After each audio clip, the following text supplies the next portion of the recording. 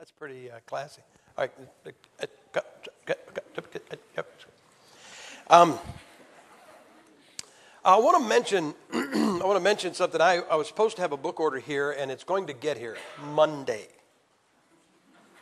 Um, so there are. Uh, I think they have books. I didn't even look back there, but they have books back there uh, in the tuck shop. And then uh, I brought like one copy of the Understandable History. So what we're going to do is throw that in the air and let you fight over it, uh, or a thousand dollars. Uh, but anyway, um, no. Here's what we do. We got the. Uh, I think we got the Understandable History, the youth book, Forced Pleasure.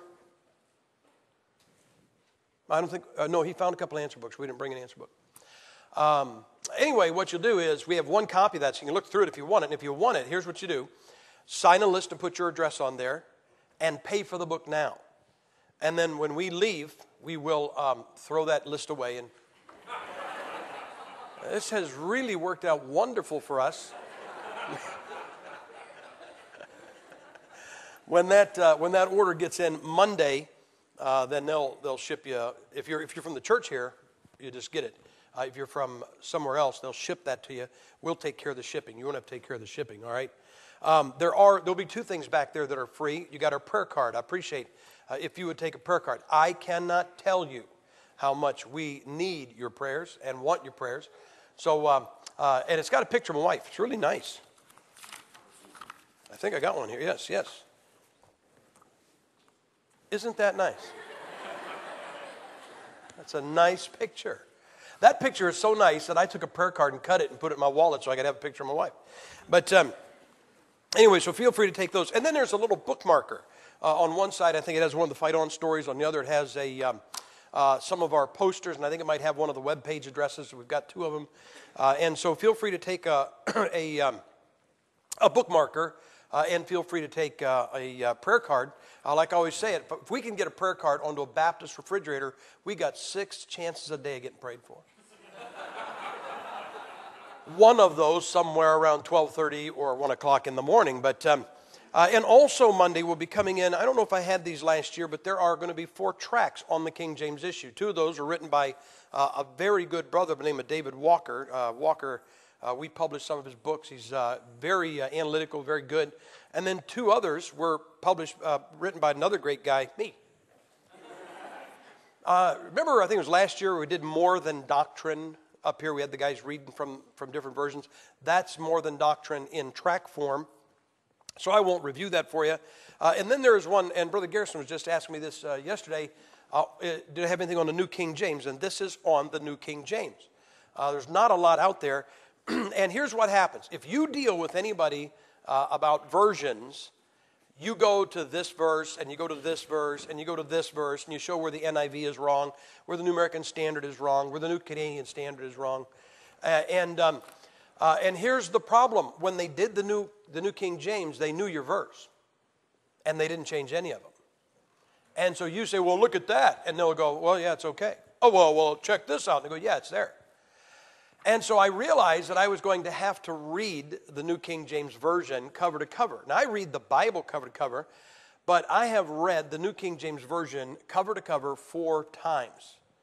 Surely there must be a medal in heaven for that. It's like kissing your mother in law, I'm telling you.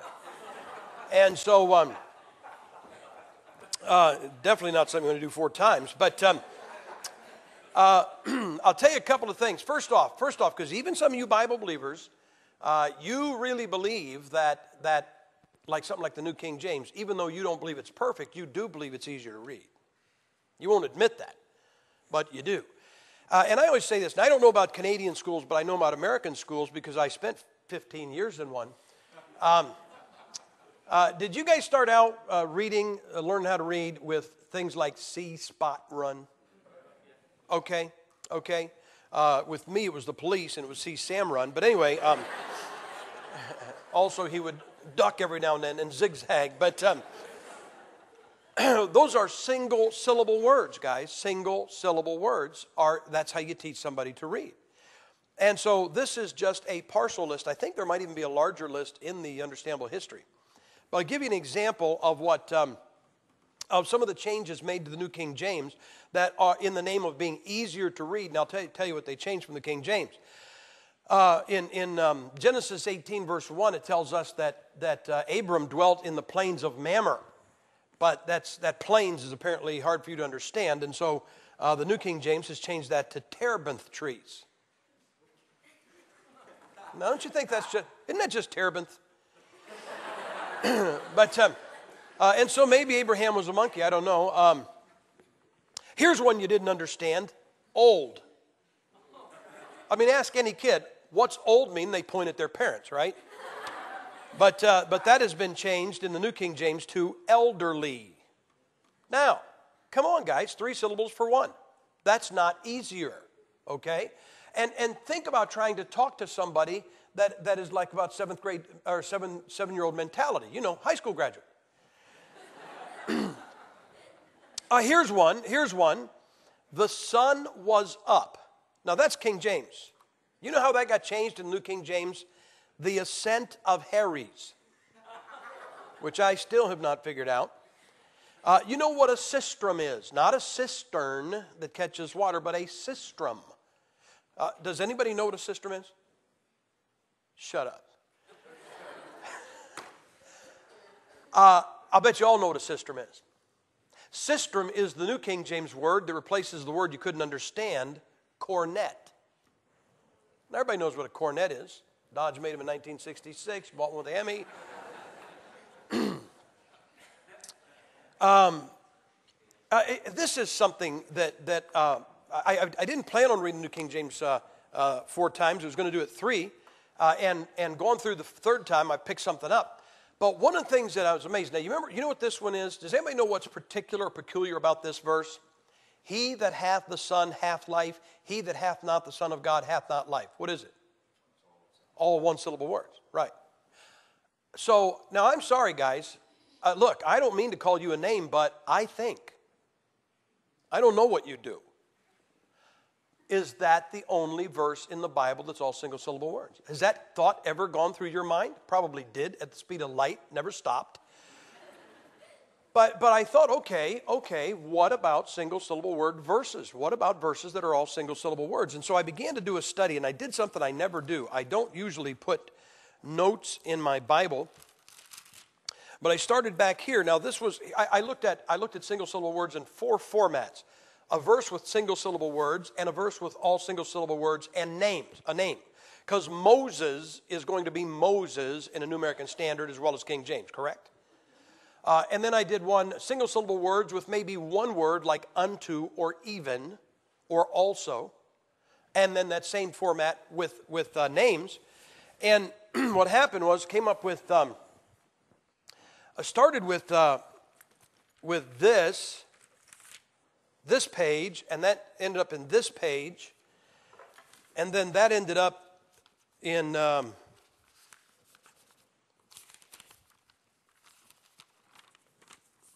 that page and that page, and this is the end. And I've come up with about 318 verses that are all single syllable words. I'm, I'm figuring I got a 10% error rate, okay? So somewhere close to 300 at least single syllable word verses uh, in your King James Bible of the single syllable words with, with like an unto or an also.